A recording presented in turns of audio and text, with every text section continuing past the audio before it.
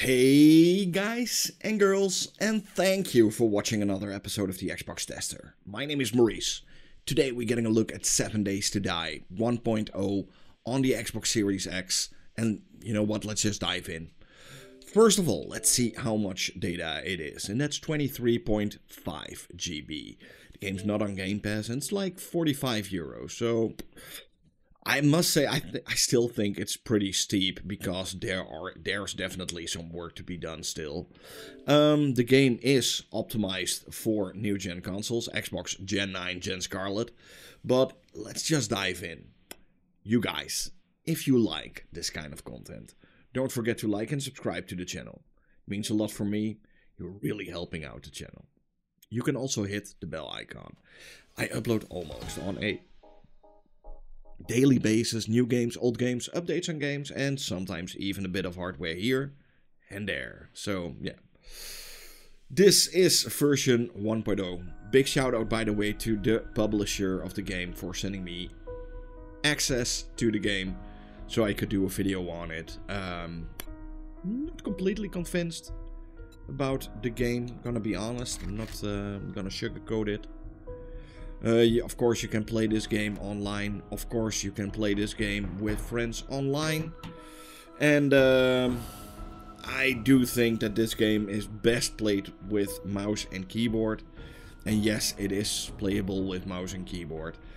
In terms of graphics, um, yeah, it's it's something. You know, I did a video on it. So on Series S, it's meh at best. On Series S, it's I was expecting more. So the, the resolution is at around 1080p on Series X. It does still have some frame drops here and there, but I think that has more to do with like server uh, issues or something.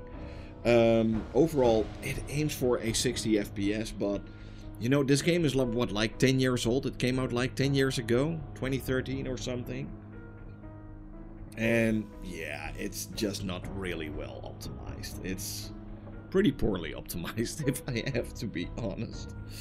You know, this could be maybe in a if they would put a little bit more effort into optimizing this game for these consoles, there's definitely some fun to be had. But right now, I would say, wait, wait. You know, it in my opinion, it's not worth 45 euros for the the, the full game because, um, yeah, for 45 euros, I want a game that's optimized a little bit better. And that's the same for Series S, SX. No difference. Ooh, ooh, ooh. What's this?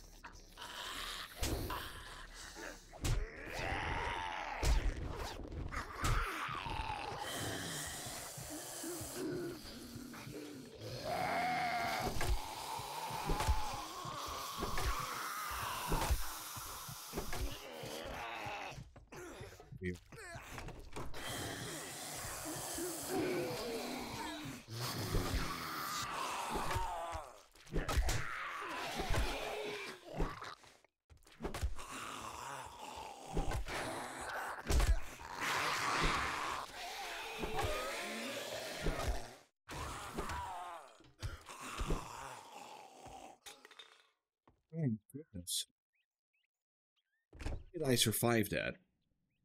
So yeah, this is Series X, and yeah, like I said, it's mediocre. I think, yeah, mediocre at at best. You know, 1080p, uh, upwards to what's this? Okay, oh that's cool. Some schematics. Hey, buddy.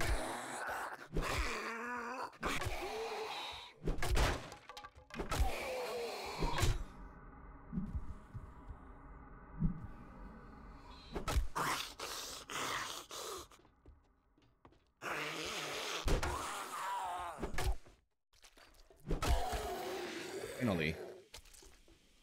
What do we have here? Piece of candy. There's a lot of zombies that are coming out of the closet in this game.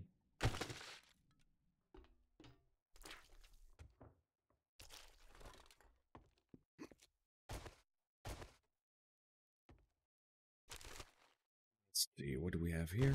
Hey, a piece for a gun or something? I've been in here before already. So yeah, the game is incredibly big. I think the map is like, what? I, don't even know.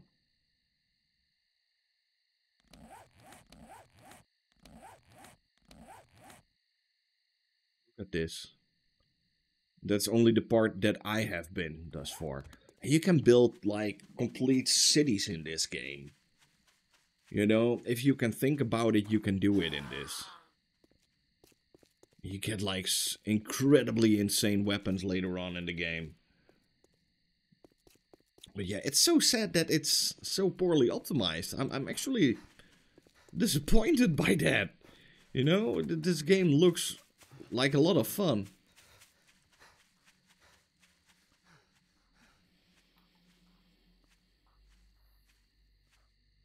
1080p with graphics medium and still have frame drops.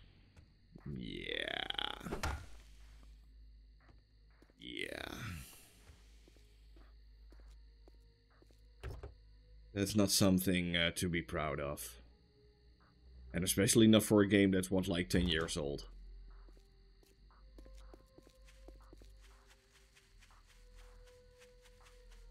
if it was a brand new game with a brand new engine or something. Hey.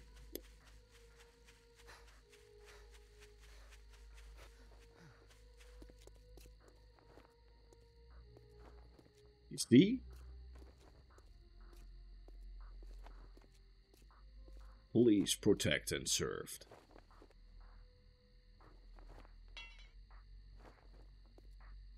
I don't have any lockpicks. Okay. Want to know? What's that? Hello.